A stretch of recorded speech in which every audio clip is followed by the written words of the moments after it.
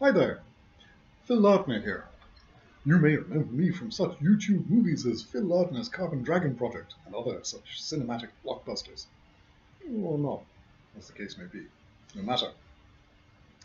When Ireland was going into its second COVID-19 lockdown, I decided that I wanted to emerge from it with a new skill under my belt, and so I set about learning to use FreeCAD.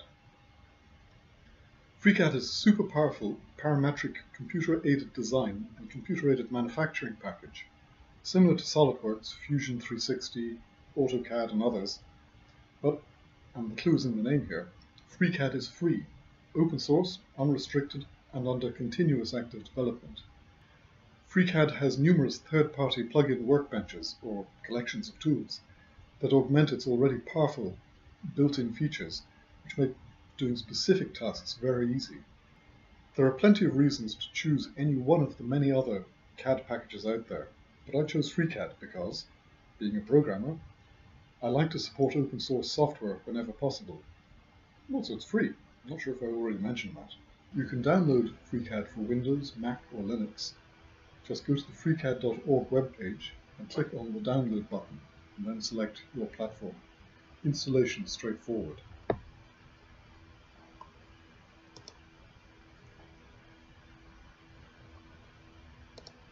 If you want to learn how to use FreeCAD as a complete beginner, then I can highly recommend Mark Ganson's excellent tutorial videos on YouTube. Mark starts from the absolute first principles of CAD and explains how to use each and every tool in FreeCAD's frighteningly large array of tools. If you can cover one or two of his videos each day and replicate his examples, then you will quickly become proficient in FreeCAD. Once I had the basics under my belt, I set out to model the Carbon Dragon glider in FreeCAD. I later modelled the Windrose glider also, but more on that in another video. You'll find links to my FreeCAD project files below in the description, but for now, just let me take you on a brief tour of my partially complete Carbon Dragon model.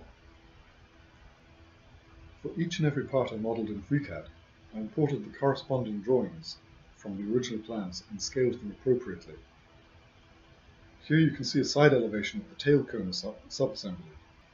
By clicking on the different view pane icons, you can see that the other drawings are also visible Here's the plan view. And here's the end view. Returning to the side elevation view, we can make each separate part that I've modeled appear in its correct place, superimposed on the drawings. You can make a part visible or invisible by clicking on the part's name in the list to the left of the drawing window uh, and pressing the spacebar to turn it on and off.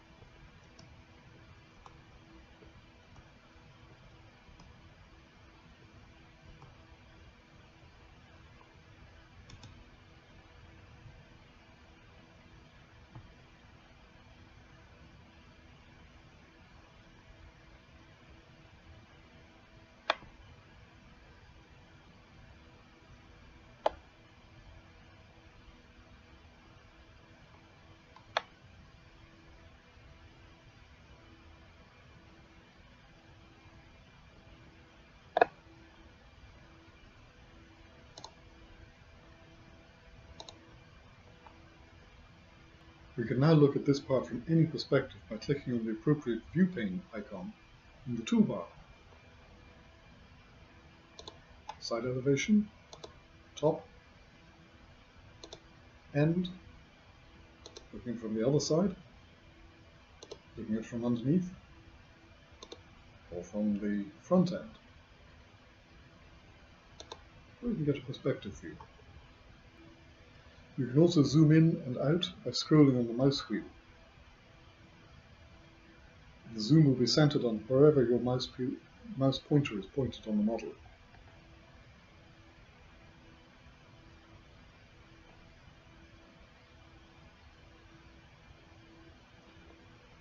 You can also drag the view around the screen by clicking and holding on any part of the model with the mouse wheel button.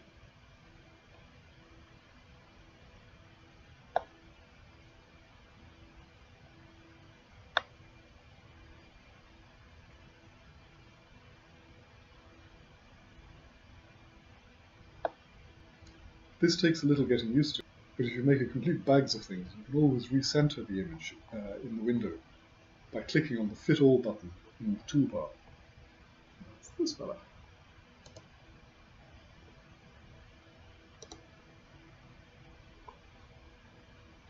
Clicking on the side elevation button brings us back to where we started. So let's see what's in my model so far. Here's the rear elevator cable pulley its center bushing, an M5 nut, uh, screw, nut, washer, the left side support, right side support,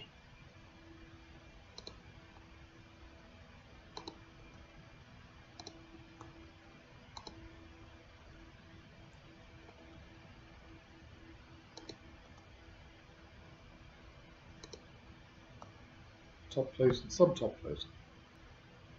Let's turn off the drawings just to make things a little clearer.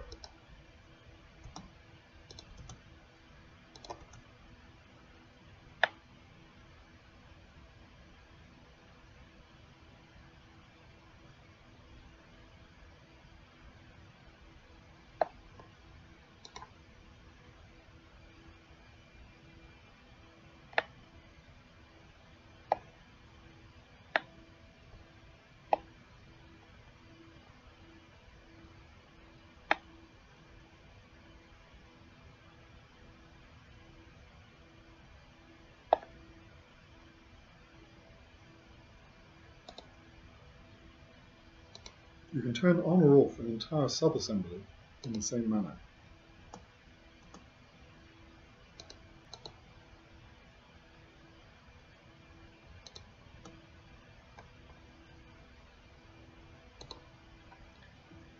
Here's the tail boom assembly.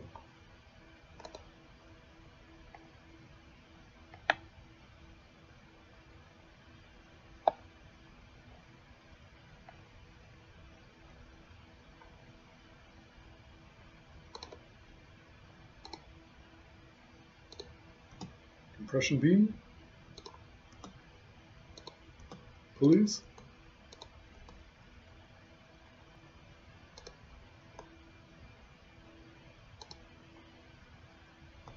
pilot part assembly, control system,